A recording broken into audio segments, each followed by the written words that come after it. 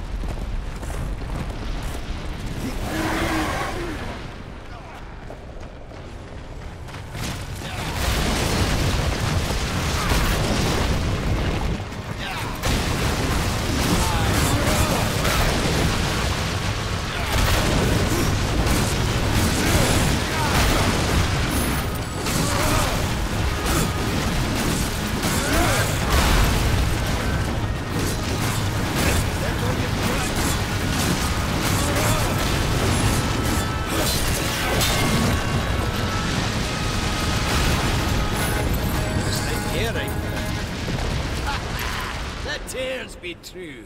A rider has come to the realm. Not another one. You're the Nephilim, the one they call Death. How did you get here? Took a wrong turn. It appears I'm stranded here with the rest of you. If you seek the Cauldron, you should know that it fell to corruption fair long ago. I can still feel the fire itself rumbling deep in the earth. I'll take my chances. Say, if you're headed in there, you mind doing something for me? Yes, I mind. Aren't I doing enough already?